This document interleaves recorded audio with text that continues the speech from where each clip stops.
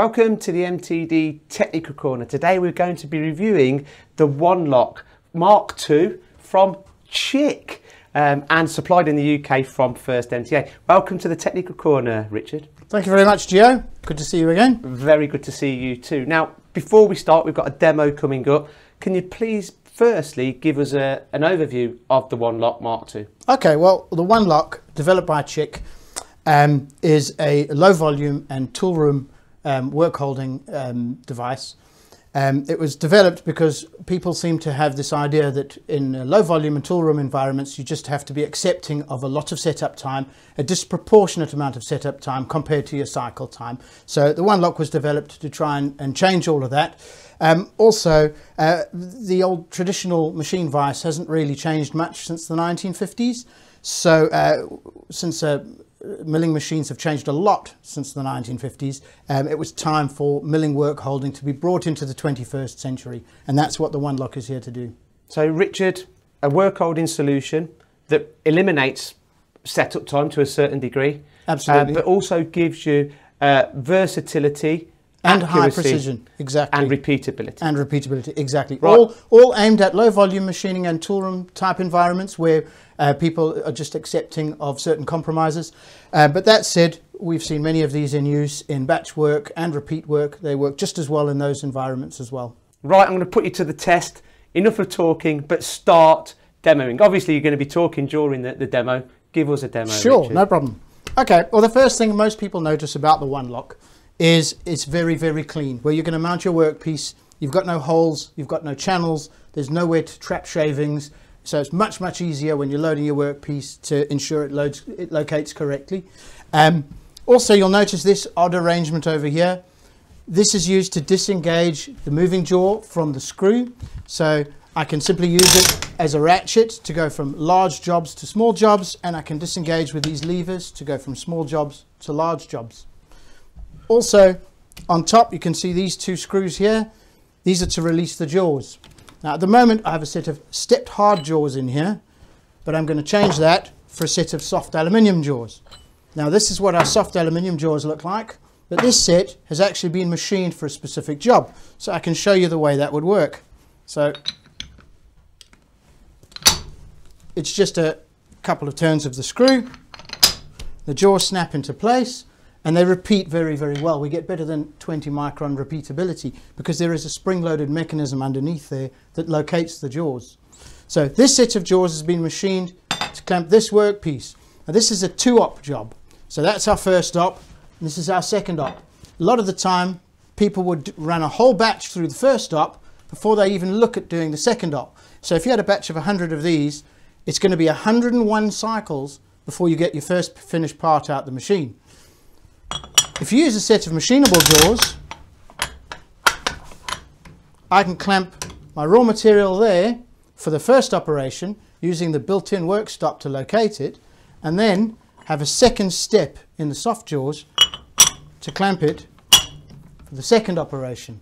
So after my second cycle I get my first finished part out which can be a huge advantage if someone urgently needs these parts. And there's also a big advantage when you get to look at your finished workpiece and make sure that the work you've done in the first op is correctly aligned to the second op and you've drilled that hole deep enough and you haven't left a great big burr and only found out after 100 cycles and have to run the whole lot through the first operation again, which I've actually seen happen.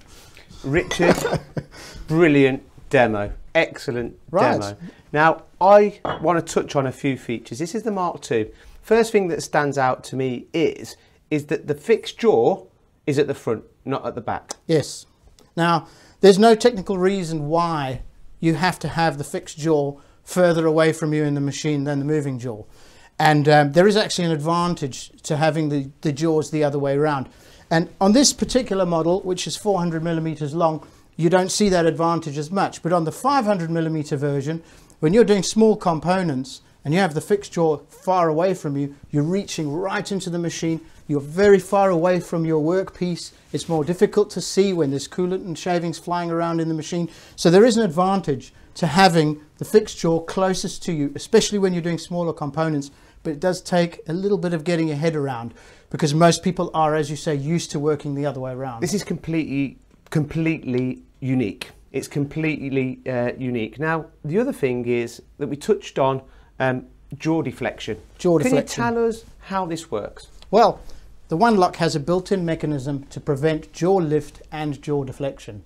Um, and it's quite complicated and you can't really see it on the outside, but underneath the fixed jaw, there's a wedge system that directs clamping forces through the jaw. So when you have an, a, a force from this direction from your, from your moving jaw, you have an opposing force in the opposite direction inside the jaw carrier. And what that does, it prevents the jaw from tilting under load. What you have on the moving jaw, on the other hand, is you have a rack that drives this jaw backwards and forwards, and the engagement angle prevents the jaw from lifting when it's under load. So you have two very parallel jaws coming together with no lift and no deflection. So you have very high quality surface contact. And with that very high quality surface contact, it eliminates vibration. How Absolutely. important is this? Well, in modern machines with modern tools, modern feed rates and modern modern spindle speeds, um, it's very very important. And that's one of the key things about the One Lok is it's designed for modern machining. Even though you have to do a one-off or you work in a tool room, you can still have the benefit of modern technology. Richard, it's been an absolutely fantastic demo. One last point for me it's mounted on a base plate. Can Exactly. you explain um, to our audience how it's mounted onto the base plate and what kind of repeatability you get from that also? Well, you have a couple of options for mounting the One Lok. Um, it does have a rail at the bottom to allow you to mount it directly to a normal T-slot table. In fact, Chick supply toe clamps specially for that purpose.